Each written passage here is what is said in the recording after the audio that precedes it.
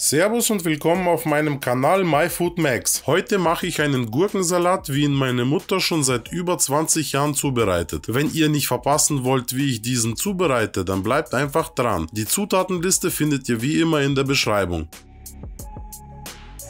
Zuerst schäle ich eine Gurke mit einem Sparschäler.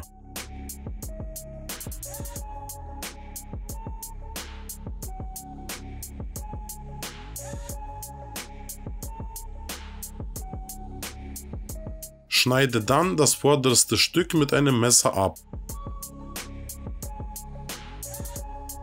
Die Gurke hobele ich in dünne und gleichmäßige Scheiben, damit der Salat schneller durchziehen kann.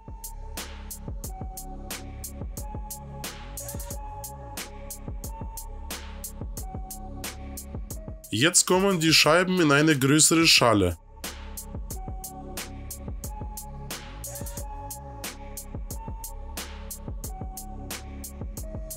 Zuerst gebe ich 2 Esslöffel Zucker rein und rühre die Gurkenscheiben um.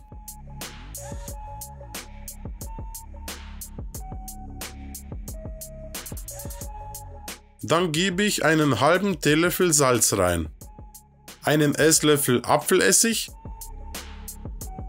einen Esslöffel Sonnenblumenöl,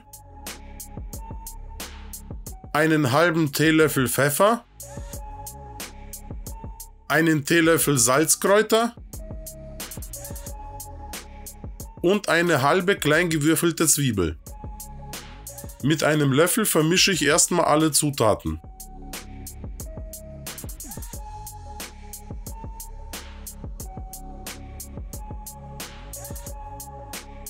Damit die Gurkenscheiben von allen Seiten mit dem Dressing in Kontakt kommen, vermische ich den Salat noch mit der Hand. Der Gurkensalat kann unmittelbar nach der Zubereitung serviert werden.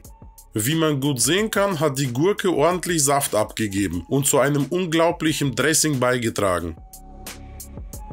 Ich hoffe, ich konnte euch Lust auf das Rezept machen. Wenn euch mein Video gefallen hat, dann hinterlasst mir bitte einen Daumen nach oben und abonniert meinen Kanal, damit ihr meine weiteren Videos nicht verpasst. Dankeschön fürs Zuschauen und viel Spaß beim Nachkochen. Bis zum nächsten Video.